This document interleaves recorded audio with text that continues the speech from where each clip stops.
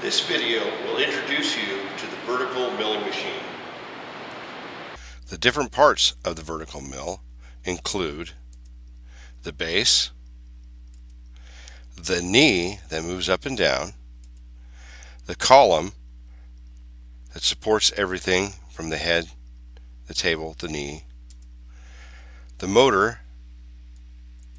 the motor switch for forward and reverse, just like the drill press, the head, the variable speed control, which you should never turn unless the motor is running, the digital readout, sometimes abbreviated as DRO, the quill, which is the part that moves up and down, just like the drill press, and the spindle, the part that moves within the quill, rotates and holds your tools. The table, which moves in the x-axis, feed handles on opposite ends of, of the table, the power feed that drives the x-axis, and the traverse feed handle which moves the table in the Y direction.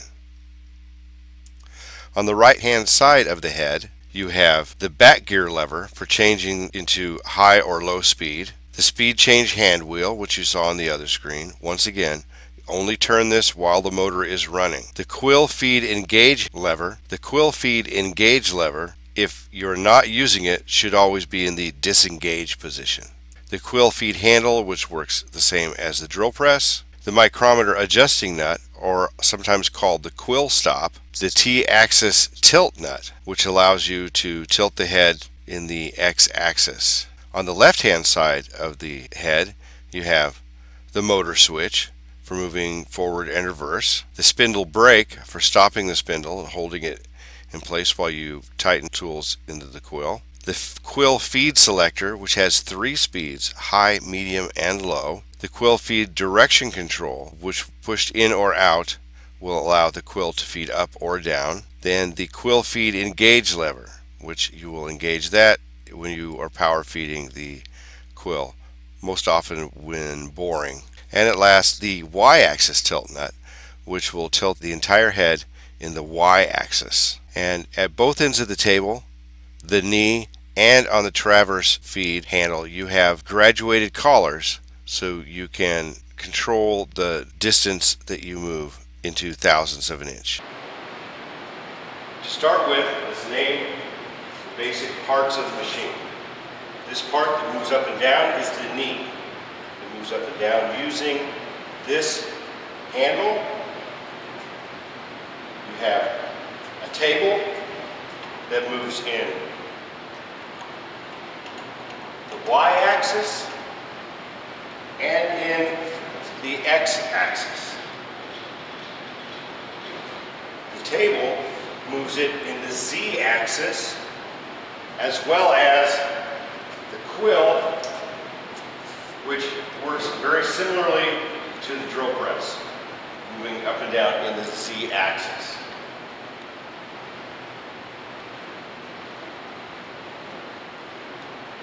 Now on the head you have some important things to remember. Your quill feed disengage lever is here. Your high, and low gear shift is here.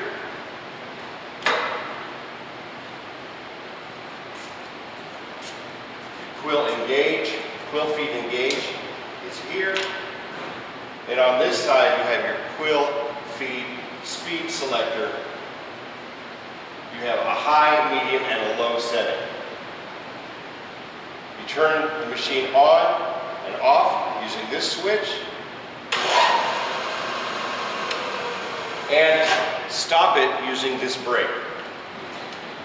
When you wish to change speeds, whether in high or low gear, you turn this handle which works this dial. Either faster or slower. Never under any circumstances are you to move this lever while the machine, while the motor is off.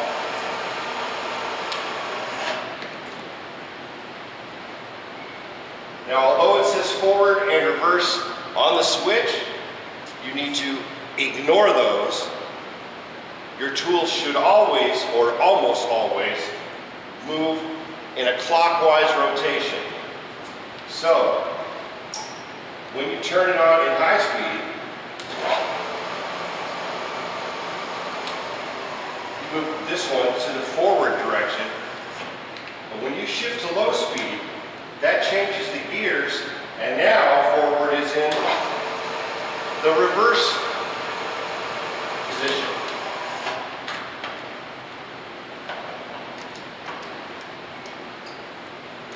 And sometimes, like this particular one, it's very difficult to get it in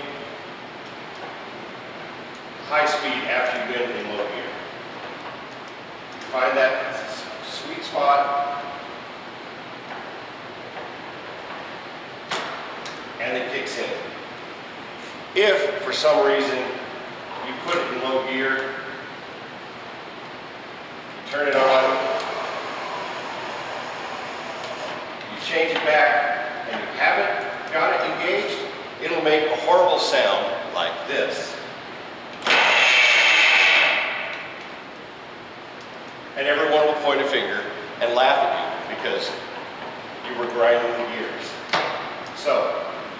Fully engaged, it'll make a nice, smooth running sound. Now this has a collet in it already, but we're going to remove that collet. Reaching up here, there's a three-quarter inch hex nut or hex bolt on the end of this drawbar. You loosen it up and the collet will fall out. We're going to install a drill chuck. There's a keyway on the side of the drill chuck and there's a keyway inside the head of the spindle. So you find that keyway just by rotating it, it'll fall in place, push it all the way up, and then screw the threads down by hand. It takes a while. Once you've got them all the way down, put your box end on the end of the drawbar using the brake, tighten it, leave your box end on the drawbar, draw it back again,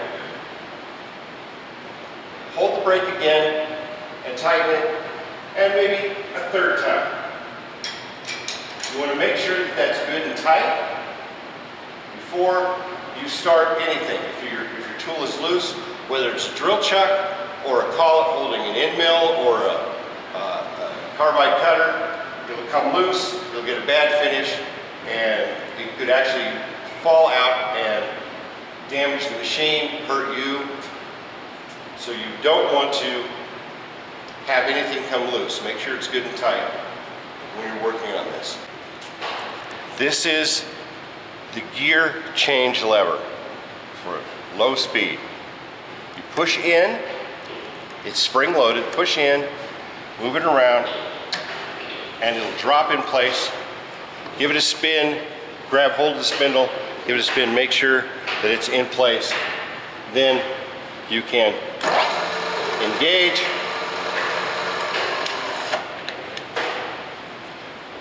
What you saw me doing from a distance now, try to get this to fall into place. Once it does, give it a little push. Make sure it feels like it's in place. This is the quill feed engage lever. Right now it is in the disengage position. To engage your quill feed, make sure that your spindle is stopped.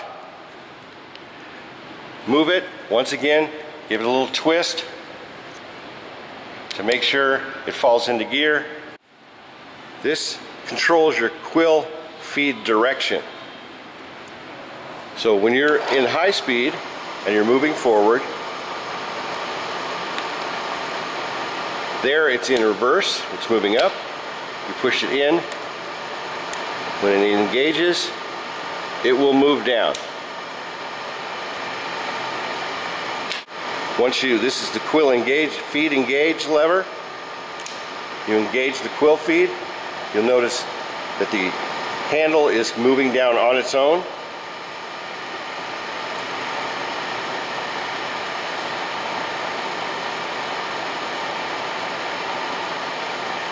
When it reach, reaches the bottom where the stop is, it will disengage.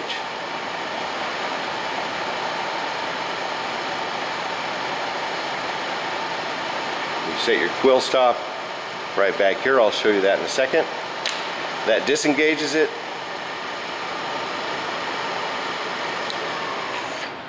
This is your quill stop. So once again, we engage the motor. You see the quill feed is engaged down. We can move that up. Say we want to stop right at one inch.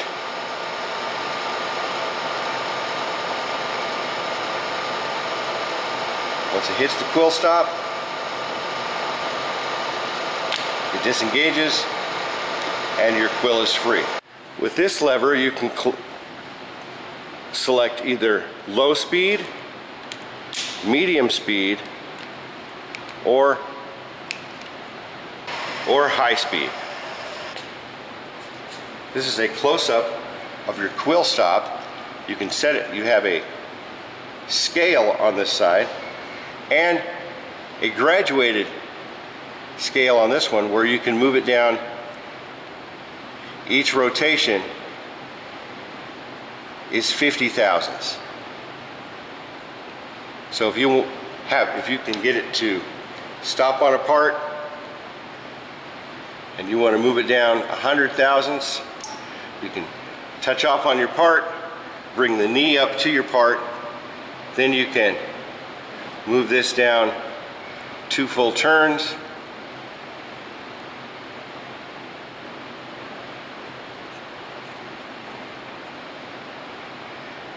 And if you like, you can use this locking nut, spin it up to lock it in place.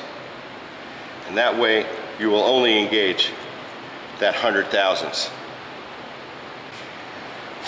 Now you'll notice on this machine, not only does it have an X and a Y axis, but a Z axis.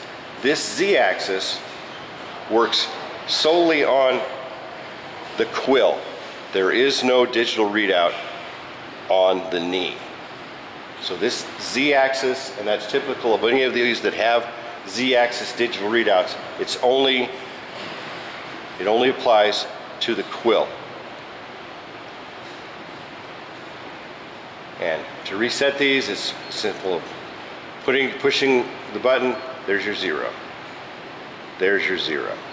And you have two, what he calls absolute or incremental. Honestly, I just think of it as two separate zeros. So you can reset your zeros at all three, and when you change from absolute to incremental, it does not change. And that way, if you're in, you've zeroed at this point and you want to move over an inch, so you move over an inch,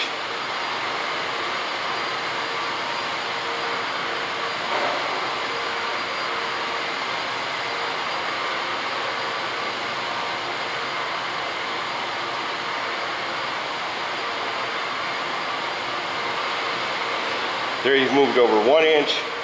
If you zero there, and you want to move another inch